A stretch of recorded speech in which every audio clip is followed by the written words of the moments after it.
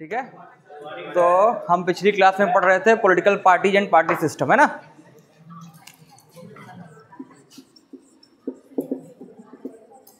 Political parties and party system.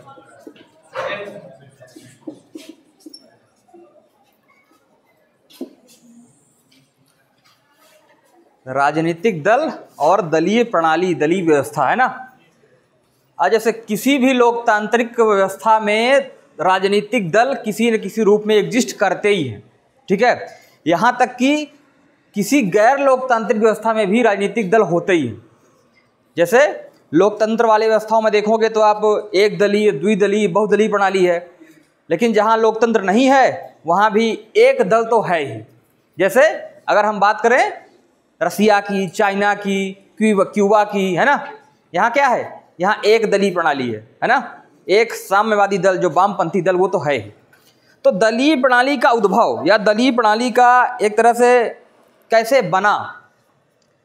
पहला तो एक ऐतिहासिक कारण है, संस्थात्मक कारण है कि इस वजह से दलीय प्रणालियों का उद्भव हुआ। ऐतिहासिक कारण की मान लो ऐसी व्यवस्थाएँ तानाशाही आ गई जो वर्तमान सरकार रही होगी, लोगों ने उसमें अपना भरोसा कम कर दिया तो नागरिक समाज ने एक नया संगठन बना लेते हैं। उसी को दल कहें दल होता है, दल क्या होता है? पहले बताइए। दल का मतलब है कि किसी निश्चित उद्देश्य के लिए लोगों का एक साथ आ जाना, संगठित हो जाना, वही है दल। अब फिर राजनीतिक दल क्या होता है? राजनीतिक दल पॉलिटिकल पार्टीज़ क्या होता है राजनीतिक दल? अब किसी भी दल का उद्देश्य अगर राजनीतिक हो जाए तो वही हो गया राजनीतिक दल। मतलब अगर सत्ता प्राप्ति के लिए, राजनीतिक उद्देश्यों की प्राप्ति के लिए लोग आपस में एक संगठन बनाने, दल बनाने, वही है राजनीतिक दल, ठीक है? अब दलों के कई सारे प्रकार हैं, जैसे विचारधारा के आधार पर अगर हम कहें तो वामपंथी विचारधारा, दक्षिणपंथी विचारधारा, मध्यम मार्गी विचारधारा, है ना? कुछ दल ऐसे होते हैं जो कुछ चीज़ें, वामपंथ की, कुछ चीज़ें दक्षिणपंथ की, दोनों के लेके चलते हैं तो मध्यम मार्गी कहलाएँगे। एक होता है क्षेत्र के आधार पर क्षेत्र के आधार पर कैसे कहेंगे? भौगोलिक आधार पर मतलब कि राष्ट्रीय पार्टियाँ, जो पूरे राष्ट्र में जिनका वर्चस्व है। राष्ट्रीय पार्टियाँ हो गई, क्षेत्रीय पार्टियाँ, जो एक एक राष्ट्र, एक राज्य में, दो राज्य में उनका प्रभुत्व है, वो कहलाएँगे क्षेत्रीय पार्टियाँ, है ना? राजनीतिक पार्टियों से तो आप काफ़ी रूबरू हैं। और राजनीति, देखो पार्टी लेस गांधी जी विनोबा भावे, जयप्रकाश नारायण, ये सब चाहते थे कि पार्टी लेस डेमोक्रेसी हो इंडिया में। समझ रहे हो? क्यों? क्योंकि आज पॉलिटिकल पार्टियाँ क्या कर रही हैं? राष्ट्रीय हितों से ज़्यादा उनके बड़ा हो गए हैं दलीय हित। समझ रहे हो? पॉलिटिकल पार्टियों ने लोगों को दलीय गुलाम बना दिए हैं। लोग अब बीजेपी के नाम पे, कांग्रेस के नाम पे, सपा के नाम पे, बसपा के नाम पे आपस में लड़ते हैं। एक ही देश के लोग, एक ही प्रदेश के लोग, यहाँ तक कि एक ही घर में रहने वाले लोग। सपाई, बसपाई, भाजपाई, कांग्रेसी हो गए। और राष्ट्रहित पीछे छूट गया। दलीय हित पहले आ गया। इस वजह से लोग चाहते थे कि दल क्या करते हैं? टकराव पैदा कर देते हैं आपस में, समाज में। जैसे चुनाव का दौर चल रहा है राजनीतिक दलों का देखो सबसे पहला, सबसे प्रमुख उद्देश्य होता है सत्ता प्राप्त करना। ये न किन प्रकार सत्ता पे काबिज होना, किसी भी तरीके से। क्योंकि जब वो सत्ता पे काबिज हो जाएँगे, तभी अपने उद्देश्यों को, तभी अपनी नीतियों को लागू करवा पाएँगे। सत्ता पे आएँगे नहीं तो कैसे करेंगे? बहुत अच्छी अच्छी नीतियाँ हैं, बड़े अच्छे विचार हैं, लेकिन सत्ता में आना ज़रूरी है। और सत्ता में आने के लिए आप लोग देखा है कि राजनीतिक पार्टियाँ तरह तरह के प्रोपोगेंडा चलाती हैं। जैसे ये दौर चल रहा है मुफ्तखोरी का। हर पॉलिटिकल पार्टी आती है तो कहेगी कि हम आपको एक हज़ार रुपये देंगे, दूसरी आए कहेगी हम आपको डेढ़ हज़ार देंगे, दो हज़ार देंगे। एक पोलिटिकल पार्टी कहेगी कि हम आपको सिलेंडर देंगे, एक हज़ार में दे कहेगी हम पाँच सौ में देंगे तो कहेगी हम चार सौ में दे देंगे।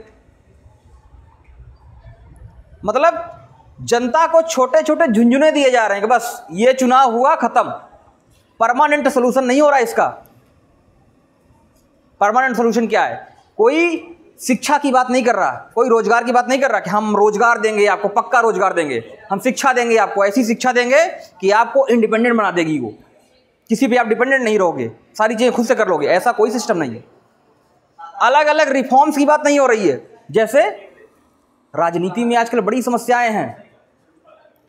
राजनीतिक पार्टियाँ लोगों को अफीम खिला रही हैं अलग अलग वादों का। वादों मतलब कैसे? जातिवाद। धर्मवाद, समाजवाद, वामपंथ, राष्ट्रवाद, माओवाद, इन सब के नाम पे लोगों को विभेद किया जा रहा है अपने पक्ष में राजनीतिक पार्टियाँ करने के लिए। अलग अलग तरीके के क्या है? अफीम है ये। इससे क्या होगा? लोग इस तरीके इस तरीके का अफीम खा के दलों के गुलाम बन जाएँगे। और हमेशा उसी नशे में रहेंगे। रिफॉर्म्स की बात नहीं हो रही है। कौन से रिफॉर्म्स? सबसे बड़ी समस्या भ्रष्टाचार, करप्शन। करप्शन के रिफॉर्म्स की कोई बात नहीं। सबसे बड़ी समस्या तो पुलिस रिफॉर्म्स की है। देखो आजकल देश में पुलिस रिफॉर्म्स की कोई बात नहीं, जुडिशियल रिफॉर्म्स की कोई बात नहीं कि justice within one year, एक ईयर में न्याय मिल जाए, ऐसा कोई वादा नहीं कर रहा है। समझ रहे हो? टैक्स रिफॉर्म्स की कोई बात नहीं। जो मेन जो लॉन्ग टर्म इंपैक्ट डालेंगे इस समाज पे, इस देश पे, उस पर कोई बात नहीं हो रही है। बस किसी भी तरीके से सत्ता प्राप्त करना है। बस इसके बाद तो पाँच साल मौज ही करने मुफ़्त खोरी खूब बढ़ रही है, हर राज्य में हर पार्टी कर रही है। और हमेशा एक दूसरे को इंगली कर रही है कि नहीं, ये पार्टी कर रही है, मैं नहीं कर रहा हूँ, ये पार्टी कर रही है, मैं नहीं कर रही सब कर रहे हैं, सब। किसी न किसी लेवल पे सब मुक्तखोरी कर रहे हैं। और इंडिया पे आज, जानते हो कितना कर्जा है? लगभग 200 लाख करोड़। एक तरफ़ कर्जा बढ़ रहा है, फ़िज़िकल डिफिसिट बढ़ रहा है, और एक तरफ़ मुफ्तखोरी बढ़ रही है। कहेंगे, हम आपको फ़ोन देंगे, स्मार्टफ़ोन देंगे, टैबलेट देंगे, स्कूटी देंगे। ये क्यों देते हैं, पता है? कि तुरंत वोट तो मिल ही जाएगा और इससे जुड़ा हुआ है कमीशन। जो भी चीज़ें मुफ़्त में मिल रही हैं, बीस परसेंट के कमीशन है उनमें सब लोग। नेताओं का और उनके इष्ट मित्रों का जो ठेका लेके वो बनाएँगे, डीलरों से बात करेंगे। सब जगह बीस परसेंट कमीशन है। टैबलेट वितरण होगा, बीस परसेंट कमीशन। मोबाइल होगा, साइकिल होगा, जो भी होगा, सब में बीस परसेंट कमीशन उन लोगों का फिक्स है। वही चीज़ें बांटी जाएँगी। कभी भी ये बात नहीं करेंगे, हम सरकारी स्कूल इतने अच्छे कर देंगे कि पूरा बच्चा अच्छे से पढ़ सके। दुनिया के अलग अलग देशों में देखो, सिंगापुर में देखो, जापान में देखो, कोरिया में देखो अलग अलग जो हमारे एक तरह से यूरोपियन कंट्रीज़ हैं, वहाँ देखो जहाँ एच सबसे हाई है, ह्यूमन डेवलपमेंट इंडेक्स, वहाँ शिक्षा पे फोकस है, स्वास्थ्य पे फोकस है। कौन किया है? वहाँ की राजनीतिक पार्टियाँ ही की हैं। इस वजह से वो देश आगे जा रहा है और हमारे यहाँ क्या हो रहा है? जनसंख्या नियंत्रण पे कोई बात नहीं। पचास परसेंट समस्याएँ जनसंख्या नियंत्रण से हो जाएँगी, एक तरह से कम हो जाएँगी समस्याएँ जो है। अगर जनसंख्या नियंत्रण का कानून बना दिया जाए, कैसे? गरीबी कम होगी, बेरोजगारी कम होगी, प्रदूषण कम होगा, वायु प्रदूषण, जल प्रदूषण वायु प्रदूषण, सब प्रकार का प्रदूषण तो है, सब कम होगा। तो इस पर कोई बात नहीं होगी। बात समझ आ रही है? तो आप लोग एक यंग पीढ़ी हो, इन बातों को समझो और फंसना नहीं है जाल में, ठीक है? ये समझ लो। देखो, समस्याएँ बहुत सारी हैं, लेकिन उनके समाधान की बात नहीं चल रही है कि हम एकदम परमानेंट सोल्यूशन लेके आए। समझ रहे हो? हमारे देश में 80 करोड़ जनसंख्या को सरकार मुफ़्त में अनाज दे रही है। दे रही है ना? 80 करोड़ लोगों को मुफ़्त अनाज। ये गर्व की बात नहीं है, ये शर्म की बात है। मतलब हम लोगों को इतना सक्षम नहीं बना पाए कि अपने से कमा लें। सरकार के दो किलो, चार किलो गले पर डिपेंडेंट हैं। और सरकारें इसी का ढिढोरा पीट रही हैं कि हम अस्सी करोड़ लोगों को फ्री अनाज दे दिए फ्री अनाज दे दिए। किसी को मछली मार के देना और मछली मारना सिखा देना, दोनों अलग अलग बातें होती हैं। अगर आप उसको डिपेंडेंट बना दो तो खुद से कमा लेगा, खा लेगा। लेकिन नहीं। ये सारे एक सिस्टमेटिक प्रोसेस के तहत होता है। समझ रहे हो? क्योंकि राजनीति में एक बहुत बड़ी समस्या है, वंशवाद की। अलग अलग डायनेस्टी पॉलिटिक्स चल रही है हर पार्टी में। चाहे बीजेपी हो, चाहे कांग्रेस हो, कांग्रेस को देख ही रहो गांधी परिवार पूरा। समाजवादी में पूरा मुलायम सिंह परिवार। ठीक है? ये सारे लोग, इनकी संपत्तियाँ कभी देखो, कभी बताते नहीं एक तो रियल गांधी परिवार की संपत्ति कम से कम तीस से चालीस हज़ार करोड़ की होगी। मुलायम सिंह यादव के परिवार की संपत्ति बीस हज़ार करोड़ की होगी। डीएम के परिवार, अब्दुल्ला परिवार, स्टालिन डीएम के मतलब स्टालिन परिवार वहाँ पे।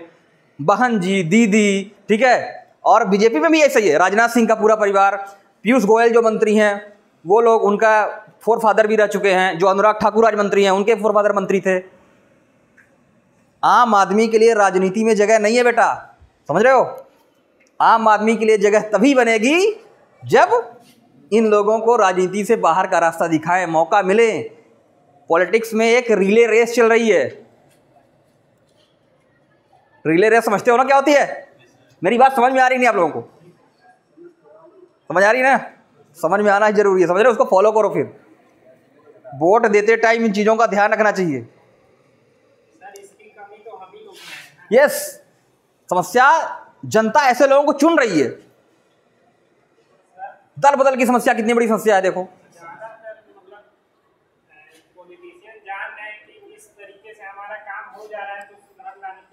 बिल्कुल। वही तो मैं बोल रहा हूँ, सिंगापुर में जाके देखो, जापान में जाके देखो, कोरिया में जाके देखो। सोल्यूशन राजनीति में है, हर चीज़ का सोल्यूशन राजनीति में है। अगर जिस देश की राजनीति ठीक होगी युद्ध चल रहा है? अभी रसिया, यूक्रेन, इजराइल, फिलिस्तीन, सबका सोल्यूशन एक दिन पॉलिटिकल सिस्टम से ही निकलेगा। वॉर हिंसा कभी सोल्यूशन नहीं देता। सब लोग, ये सारे लोग एक दिन टेबल पे बैठेंगे, इनके डिप्लोमेट्स इनके राष्ट्रपति, इनके प्रधानमंत्री, तभी जाके वो डिसीज़न निकलेगा कि हमको शांति बना के रखनी है। समझ रहे हो? और जो राष्ट्र मज़बूत होगा शांति आती है कैसे? पीस आती है पावर के साथ। अगर आपके पास पावर नहीं है तो आप पीसफुल तरीके से रह नहीं पाओगे। ये समाज, ये दुनिया, ये लोग जीने नहीं देंगे आपको। Peace comes with power Bharat ने जो न्यूक्लियर पावर हासिल की ना, इसी वजह से हासिल की कि हमको अपने पड़ोस में अगर शांति व्यवस्था बना के रखनी है तो हमको पावरफुल रहना है। समझ रहे हो? दोनों चीज़ें होती है। कुछ लोग कहते हैं कि न्यूक्लियर पावर जो है तो पीस की गारंटी है। और दूसरी तरफ़ यह है कि न्यूक्लियर पावर आने वाले टाइम पे खतरा भी है। एक परमाणु युद्ध अगर हुआ, पूरी दुनिया खत्म हो जाएगी। यस समझ रहे हो बात को? तो आप लोग समझो और दूसरों को भी समझाओ। हवाला का कारोबार। Illegal trafficking human trafficking trafficking समझते हो ना? तस्करी. मानव तस्करी, चंदन तस्करी, सोना तस्करी. जोरों शोरों से चल रहा है. लेकिन इसकी कोई बात नहीं. रिफॉर्म्स की बात तो हो ही नहीं रही है. प्रशासनिक सुधार. आप प्रशासन में जाते हो, कैसा प्रशासन है? कैसा प्रशासन है? कितना ढीला, कितना सुस्त, कितना एक तरह से आलसी प्रशासन. आप किसी ऑफ़िस में जाओ, वहाँ एक आपको ऐसा आदमी मिलेगा जिसके माथे पे लिखा होगा कि काम करके दिखाओ मुझसे। जैसे किसी ऑफ़िस में आप गए, क्लर्क की सीट पर जाओ, बैठा होगा एक आदमी। वो इसी उद्देश्य से बैठा कि हम काम करके दिखा लो कोई मुझसे। वो आपका काम करेगा नहीं। थाने, तहसील, सब दलाली के अड्डे बन चुके हैं। पॉलिटिकल पार्टियों के दलाल बैठे हुए वहाँ पे। समझ रहे हो? तो ये एडमिनिस्ट्रेटिव रिफॉर्म्स की एजुकेशनल रिफॉर्म्स की, शिक्षा में रिफॉर्म्स की कोई बात नहीं कर रहा है। कि कैसे लोगों को हम ऐसा शिक्षा देंगे थोड़ा सा वो रोज़गार ओरिएंटेड हो और एक अच्छा इंसान बन सके। समस्याएँ दोनों तरफ़ है, देखो। पता चला सिर्फ़ रोज़गार रोज़गार मैकेनाइजेशन कर दिए मशीन बना दिए इंसान को। जब इंसान मशीन जब बन जाता है ना तो फिर आत्महत्या करेगा सुसाइड करेगा, दूसरों को मारेगा मर्डर करेगा, डकैती करेगा, अपहरण करेगा रेप करेगा, यही सब करेगा। तो उसके अंदर नैतिकता का भी विकास हो, लेकिन वह इतना कैपेबल हो कि अपना जीवन चला भी सके। और इन सबका रिफॉर्म्स कैसे निकलेगा? राजनीति से। सिर्फ़ और सिर्फ़ राजनीति से। समझ रहे हो? एक्चुअल में जनता ने अभी चुनाव में इन मुद्दों को, जो रिफॉर्म्स के मुद्दे हैं, शिक्षा के मुद्दे हैं, रोज़गार के मुद्दे हैं, इनको मुद्दा ही नहीं बनाया है। धर्म पे वोट हो रही है। अनाज गल्ला पे वोट हो रही है ना उस पर कि हम पाँच किलो आएँगे तो फ्री देंगे। तो देखो, जिस मुद्दे पे चुनाव लड़ा गया है, वो मुद्दा कुछ न कुछ लेवल पे, कुछ न कुछ परसेंटेज में पूरा होगा ही। राम मंदिर पे चुनाव लड़ा गया था, राम मंदिर बन रहा है। अनाज देने पे चुनाव लड़ा गया था, अनाज मिल रहा है। रोज़गार पे चुनाव नहीं लड़ा गया, शिक्षा पे चुनाव नहीं लड़ा गया, स्वास्थ्य पे चुनाव नहीं लड़ा गया तो नहीं मिल रहा है। जब ये मुद्दे बन जाएँगे तो कुछ न कुछ परसेंटेज मिलना तो शुरू हो ही जाएगा। वही असली रिफॉर्म्स समझ रहे हो बात को? तो political party and party systems Bharat एक बहुदलीय प्रणाली है, बहुदलीय व्यवस्था। मल्टी पार्टी सिस्टम बहुत सारे दल हैं। इलेक्शन रिफॉर्म्स की कोई बात नहीं होती। चुनावों में आज कौन जीत के आ रहा है? आम आदमी जीत रहा है चुनाव। चुनावों में धन, बल, बाहुबल का इतना प्रयोग हो रहा है। कि आम आदमी सिर्फ़ जाके एक वोट दे रहा है बहुत मुश्किल से, वो भी दे भी नहीं रहा इंटरेस्ट नहीं ले रहा हो समझ रहे हो? तो ये सारे रिफॉर्म्स के मुद्दे हैं।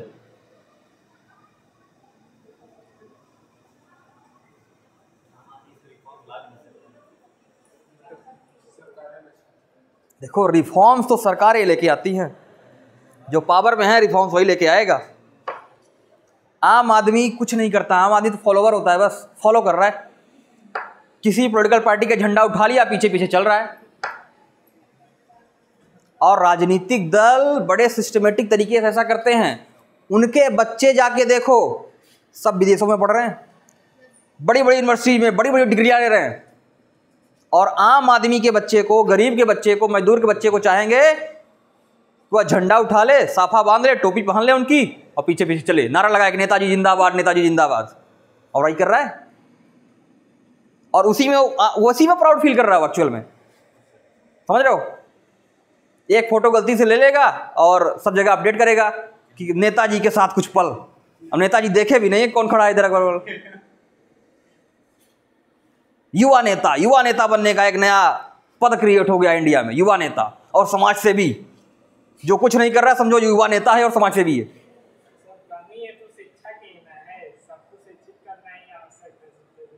तो एक कैसे होगा वो? सरकारें तो ऐसे करेंगे नहीं सब शिक्षित हो जाए, सब समझदार हो जाए तो उनको वोट कौन देगा?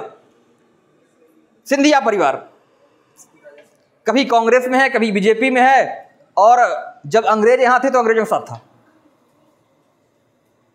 समझ रहे हो? जो है सिंधिया परिवार है अभी तक कांग्रेस में था अब बीजेपी में आ गया और जब अंग्रेज़ यहाँ गुलामी करवा रहे थे लोगों से तो अंग्रेज़ों के साथ थे वो क्रांतिकारियों को मरवा रहे थे ऐसे लोग सत्ता में बैठे हुए हैं ऐसे लोग पॉलिसी बना रहे हैं जिन्होंने कभी गाँव देखा नहीं धूप सही नहीं वो एसी कमरों में बैठे हुए हैं वो किसान के लिए नीतियाँ बना रहे हैं कहेंगे is a very problem that is the climate change कैसे निपटेंगे सब चीज़ें किसान कैसे काम करे, मजदूर कैसे काम करें? मिनिमम वेज डिसाइड कर रहे हैं कि इनको मिनिमम वेज इतना दे दो। मिनिमम वेज देखोगे ना तो वो मिनिमम वेज ऐसा है कि इंसान गुजारा न कर पाए उसमें। इतना मिनिमम वेज है। जितना उनका एक दिन का, एक घंटे का खर्चा होगा, उतना मिनिमम वेज रखते हैं एक महीने के, मजदूरों की। समझ रहे हो? तो और रिफॉर्म्स सोल्यूशन राजनीति में ही है और कहीं नहीं है। क्योंकि लोकतांत्रिक व्यवस्था में सारी चीज़ें राजनीति से ही डिसाइड होती हैं और ये बहुत अच्छे तरीके से बनाया गया है ताकि आम आदमी राजनीति पे कब्जा करे, सिस्टम पे कब्जा करे और अपने हिसाब से नीतियाँ बनाए। लेकिन आम आदमी रोजी रोटी कमाने में लगा है।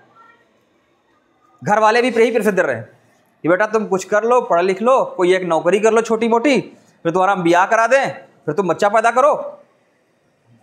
है ना? जो घर में बड़े बुज़ुर्ग होंगे वो कहेंगे, अगर तुम मना भी करोगे तो कहेंगे, नहीं नहीं नहीं। जब तक तुम्हारे बच्चों को गोद में खिला नहीं लेंगे, उससे मुतवा नहीं लेंगे ऊपर, तब तक मरेंगे नहीं हम। उनके यही एम्बिशंस हैं। ये सारा सिस्टम चल रहा है। तो समाज बराबर का जिम्मेदार है इन सारी चीज़ों के लिए। बात समझ आ रही? तो लिखो कुछ, लिखो क्या होता है दल। दल यानी दलदल। समझ रहे हो? जो दल होते हैं, जनता को दलदल में फंसाते हैं कि ये ट्रैप में फंस जाएँ। लिखो एडमंड वर्क के अनुसार, Edmund Burke Burke, Edmund Burke के अनुसार, दल समान विचारधारा के लोगों का एक ऐसा समूह है। दल समान विचारधारा के लोगों का एक ऐसा समूह है जो राष्ट्रीय हित के लिए कार्य करते हैं।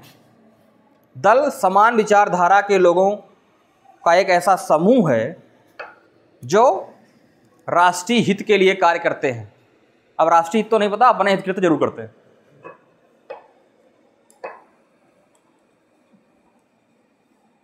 ठीक है? अगला लिखो। लग गया? आधुनिक युग में दलों को समान लोगों का एक ऐसा संगठन माना जाता है। आधुनिक आधुनिक युग में दलों को समान लोगों का, यानी समान विचारधारा के लोगों का एक ऐसा संगठन माना जाता है, जो शक्ति या सत्ता प्राप्त करने के लिए आधुनिक युग में दल समान विचारधारा के लोगों का एक ऐसा संगठन माना जाता है, जो शक्ति या सत्ता प्राप्त करने के लिए जो शक्ति या सत्ता प्राप्त करने के लिए प्रतिस्पर्धा करते हैं। कंपटीशन करते रहते हैं आपस में ही। करते हैं ना कंपटीशन? जब चुनाव आता है तो दलों में खूब कंपटीशन होता है। शक्ति या सत्ता प्राप्त करने के लिए खूब कंपटीशन होगा। एक दूसरे पर खूब तू मैं मैं करेंगे। खूब आरोप प्रत्यारोप लगेगा। लेकिन जैसे चुनाव खत्म हो जाएगा, सारे आरोप प्रत्यारोप खत्म। देखोगे कभी भी किसी राजनीतिक दल के बड़े मेंबर्स को कोई सजा नहीं होती। इतने आरोप हैं करप्शन के। कितना घोटाला नहीं हुआ। कोयला घोटाला, टू जी घोटाला राष्ट्रमंडल खेल में घोटाला, बहुत सारे घोटाले हुए। लेकिन सजा किसी को नहीं होती। क्योंकि करने वाले लोग जो है ना, सब एक ग्रुप के हैं, एक इलीट ग्रुप चाहे किसी भी पार्टी का हो। समझ रहे हो? यस घोटाला मतलब है कि जिस काम के लिए पैसा अलॉट हुआ, उस काम में बहुत कम लगा के या ना लगा के सारा पैसा खा गए डकार के सारा पैसा।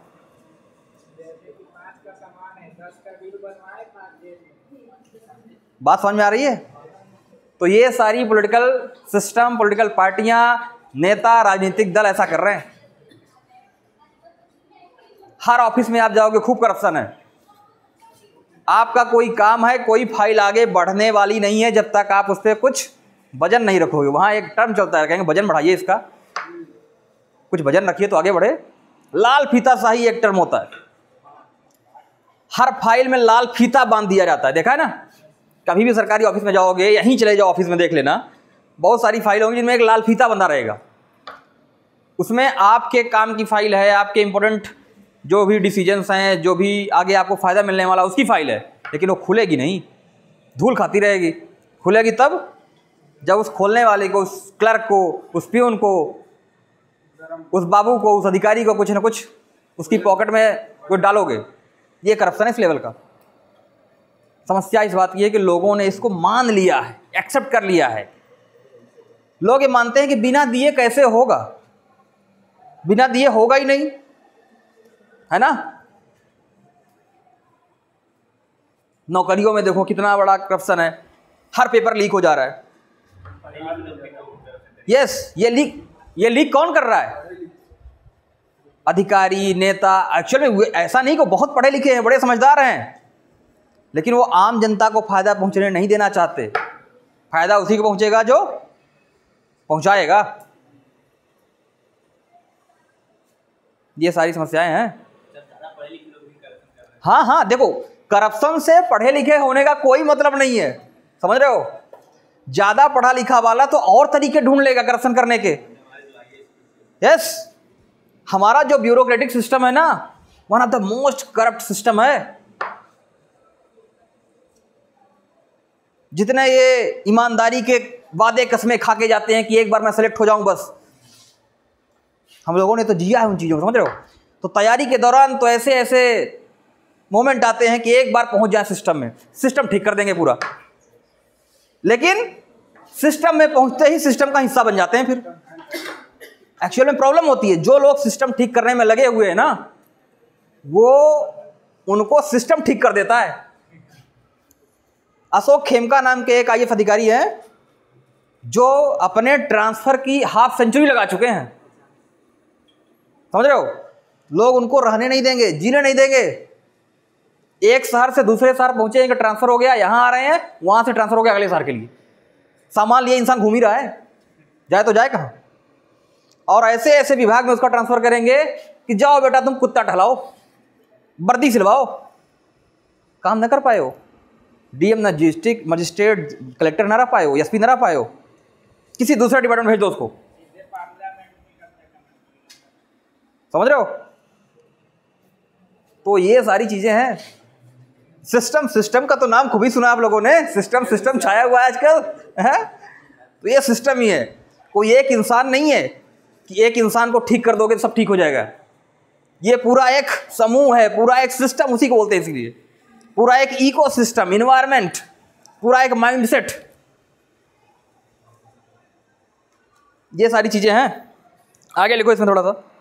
संख्या के आधार पर दलों के प्रकार कौन कौन से होते हैं? एक दलीय single party system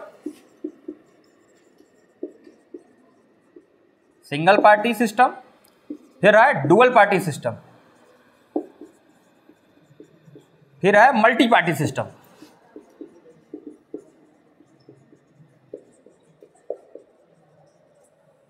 अब इस पर बहुत बात हुई, आप लोग जानते ही हैं कि एक दली क्या है, दो दली क्या है बहुदली क्या है। भारत बहुदलीय प्रणाली का एक सबसे बेस्ट एग्ज़ाम्पल है। यहाँ सबको दल बनाने का अधिकार है, दल बना लो। और दल बने भी हुए हैं। दल जाति के आधार पर बने हुए हैं, धर्म के आधार पर बने हुए हैं, क्षेत्र के आधार पर बने हुए हैं, भाषा के आधार पर बने हुए हैं। हमारे यहाँ दल बनाने का ये आधार है। समझ रहे हो? आगे लिखो तुम। विचारधारा के आधार पर दल। वामपंथी, लेफ्टिस्ट, राइटिस्ट और मध्यम मार्गी, मिडिल पाथ वाले। वामपंथी दल, दक्षिणपंथी दल और मध्यम मार्गी दल।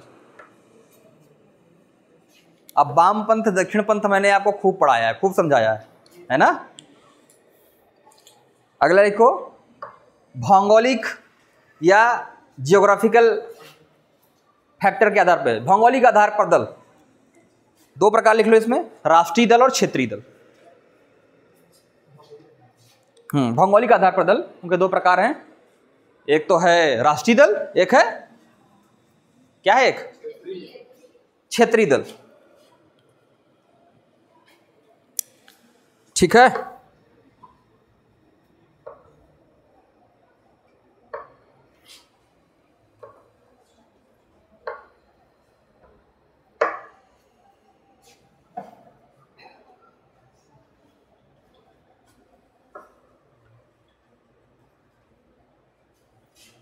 देखो, जितनी ये मुफ्तखोरी की बात होती है ना, राजनीतिक पार्टियों को खूब भर भर के चंदा मिलता है।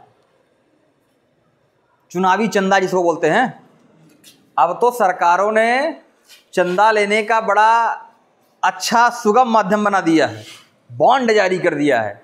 Electoral bond. इलेक्टोरल बॉन्ड ऐसा है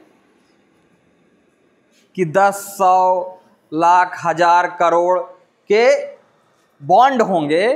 कोई भी आदमी ले सकता है SBI State Bank of India से, और किसी भी पार्टी को दे सकता है। किसी भी पार्टी के अकाउंट में जमा कर सकता है। उसका नाम पहचान ज़ाहिर नहीं की जाएगी। चुपचाप।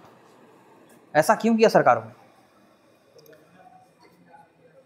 क्योंकि देखो सारा मामला ऐसा है ना कि लेन देन का है, अगर हम आपको कुछ दे रहे हैं, अगर कोई किसी को पैसे दे रहा है तो इसका मतलब है कि वह कुछ फ़ायदा लेगा उससे। समझ रहे हो? तो बड़ी बड़ी पार्टियाँ बड़ी बड़ी companies, national companies, international companies MNCs अपना अपना राजनीतिक दल चुन लेती हैं कि हम इसको चुनाव में जितवा के लाएँगे, फिर इससे फ़ायदा उठाएँगे।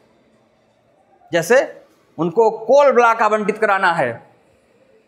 तो चाहेंगे ना कि ऐसी पार्टी आए जिसको हमने खूब चंदा दिया है और हमको दे दे वो। एयरपोर्ट का प्राइवेटाइजेशन कराना है और उनको लेना है।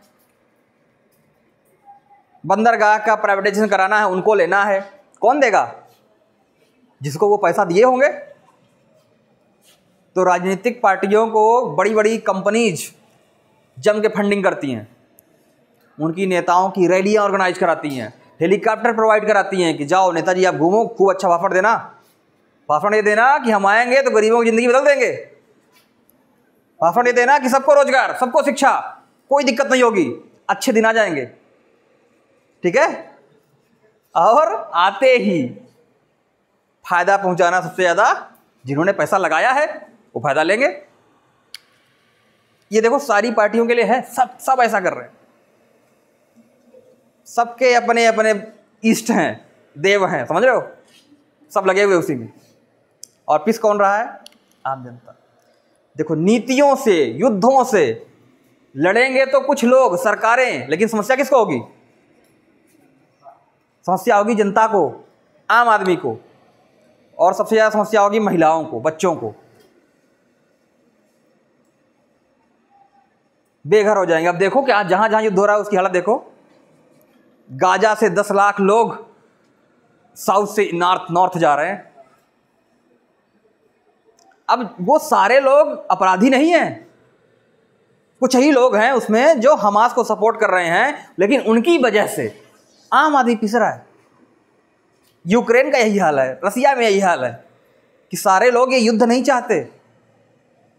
लेकिन जब सरकारें लड़ती हैं तो पिसते सब। बात समझ में आ रही है? तो आम जनता हमेशा पिसती है। अब देखो बहुत आ, कुछ हालाँकि हमेशा से रहा है पर्सनालिटी कल्ट पॉलिटिकल पार्टीज़ बनती जा रही हैं। कि एक ही आदमी के इर्द गिर्द सारी राजनीति घूम रही है सारी पॉलिटिकल पार्टियाँ काम कर रही हैं। हर पार्टी के आका होते हैं। आका समझते हो ना? जो वही चला रहे हैं। चाहे तुम भारतीय जनता पार्टी को देख लो, दो तीन लोग हैं चुने हुए, जो पूरी पार्टी पे कब्जा किए हैं, किसको कहाँ से टिकट देना है, कैसे, कहाँ लड़वाना है, क्या करना है, हर चीज़ उन्हीं के दम पे है। कांग्रेस को तो देख लो, उसके ऊपर तो आरोप ही है कि परिवारवादी पार्टी है, गांधी परिवार चला रहा है। एसपी को समाजवादी पार्टी को देख लो, मुलायम सिंह का परिवार पूरा, यादव परिवार चला ही रहा है। मायावती बहन जी को देख लो। बहन जी वन ऑफ़ द सर्वे सर्वा और ये भी है कि जिसको टिकट लेना है, एक खोखा पहुंचाओ वन करोड़ टिकट ले जाओ। आपने क्षेत्र में क्या किया है, उससे मतलब ही नहीं है। पैसा लाओ भैया, टिकट ले जाओ। तो और इंसान वोट, जनता वोट कैसे करती है? दलों के आधार पे। इसलिए आम आदमी आ ही नहीं पाता। एक टाइम था ना, लहर चलती है नेताओं की, मोदी लहर चल रही है। ये लहर चल रही है वो लहर चल रही है। अब लहर में कोई भी टूटहा सुटहा आदमी जो कुछ नहीं जानता नहीं, जिसको जनता जानती नहीं क्षेत्र में, कौन सा है? कहाँ से आया? लोग नाम नहीं देखते, सिर्फ़ निशान देखते। नहीं, कमल, पंजा, हाथी अच्छा हाथी को देना है। साइकिल, जो भी है। तो लोग लोग नहीं देखते, निशान देख रहे हैं। यही है दल गुलामी दल गुलामी, दल के गुलाम। तो अंग्रेज़ों की गुलामी तो चली गई। लेकिन दलों के गुलाम ये देश बन गया। और आने वाले टाइम पे इसका बहुत ही खतरनाक रूप दिखेगा। समझ रहे हो? पार्टियाँ कितनी एग्रेसिव होती जा रही हैं। दंगे करा दे रही हैं। और दंगे तो ठीक ही है। अपने देश में हो रहा अगली बार से या आने वाले टाइम से युद्ध भी हो जाए तो कोई बात नहीं। समझ रहे हो? इन सारे लेवल पे एक है ना राहत इंदौरी का शेर। क्या है? कि आजकल सीमा पे बड़ा तनाव है। पता करो चुनाव है क्या? तो जब जब चुनाव आएगा, सीमा पे तनाव बढ़ेगा। पाकिस्तान का मुद्दा, चाइना का मुद्दा, या कोई और मुद्दे। क्यों? क्योंकि जनता की सहा, देखो, ऐसे मुद्दे होते हैं ना ये, कि जनता फिर लिखती है कि नहीं नहीं, अब तो हमारा देश जीतना चाहिए। सरकार को मज़बूत बनाओ, वोट दे दो इनको। है ना? और ज़्यादातर पावर सेंट्रलाइज करने की बात की जा रही है सेंट्रलाइज कर लो। वन नेशन वन सब कुछ। One nation one ration card one nation one ID one nation one election one nation one party ना हो जाए, कहीं ये बहुत बड़ा तानाशाही हो जाएगी फिर तो। इस लेवल पे पहुँच रही हैं राजनीतिक पार्टियाँ। और आम जनता बहुत दूर है सच्चाई से।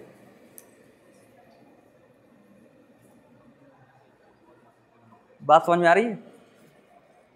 तो आप लोग तो पढ़े लिखे हो पॉलिटिकल साइंस पढ़ रहे हो तो इनकी साइंस को समझना है। हर काम के पीछे साइंस है। इसीलिए पॉलिटिकल साइंस पॉलिटिकल साइंस है। ठीक है? और एनी क्वेश्चन आपको कोई डाउट हो, कुछ पूछना चाहते हो, खुल के पूछो। ये आपकी अपनी क्लास है। ये सच्चाई कैसे पहुँचाया जाए? देखो, ये सच्चाई का माध्यम, पहुँचाने का माध्यम सबसे बड़े आप लोग हो। युवा पीढ़ी, स्टूडेंट। और स्टूडेंट को सबसे पहले तो अपने अंदर, समझ रहे हो, अपने आप को जागरूक करो, अपने आप को इम्पावर करो। अपने आप को चेतन बनाओ, बेहोशी में ना जियो। बहुत बड़ी आबादी का जीवन बेहोशी में गुजर जाता है। रोटी, कपड़ा मकान में गुजर जाता है। घर वाले कहेंगे, बेटा, खूब पढ़ो, सफल हो जाओगे तुम एक दिन। कितने सफल हो जाओगे? नौकर बन जाओगे एक। नौकरी पागे, वही तुमको मानना है, समाज सफल। समाज, सरकारें सब सफल मान ली। क्यों? क्योंकि तुम उसी में फंसे रहो, उससे बाहर मत निकलो। तुम नौकरी करो। कभी किसी कंपनी की, कभी किसी मल्टीनेशनल कंपनी की, कभी किसी ऑर्गेनाइजेशंस की या सरकार की। सरकार मत बन जाना। क्यों? ऐसा चाहते हैं सरकार में बैठे लोग कि अगर ये सरकार बन गया, ये टुटास आदमी जिसके पास खाने के लिए नहीं था तो मैं क्या करूँगा? मेरी तो नौकरी चली जाएगी मेरी, उनकी तो नौकरी चली जाएगी। उनका काम ही, उनका पैसा है राजनीति करना। विधायक कुछ ही लोग बनेंगे, सांसद कुछ ही लोग बनेंगे, एक विशेष इलीट क्लास के लोग।